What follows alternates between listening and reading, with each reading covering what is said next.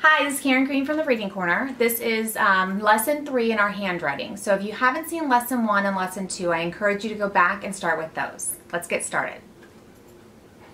I say b. You say b. Top line down, touch the bottom line, come up and make a circle, touch the bottom line. You try.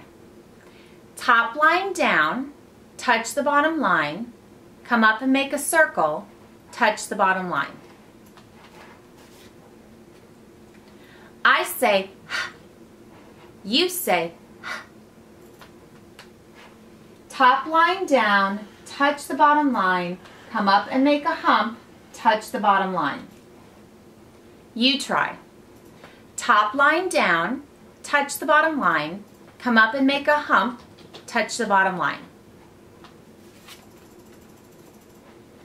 I say mm. You say mm. Short line down, touch the bottom line, come up and make a hump, come up and make a hump. You try.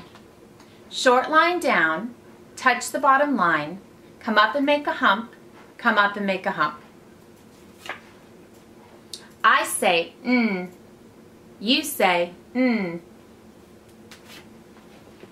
Short line down, touch the bottom line, come up and make a hump. You try. Short line down, touch the bottom line, come up and make a hump. I say rrr. You say rrr. Short line down, touch the bottom line, come up and make a little hook. You try. Short line down, touch the bottom line, come up and make a little hook. I say p. You say p. Short line down, pass the bottom line, come up and make a circle, touch the bottom line. You try. Short line down, pass the bottom line, come up and make a circle, touch the bottom line.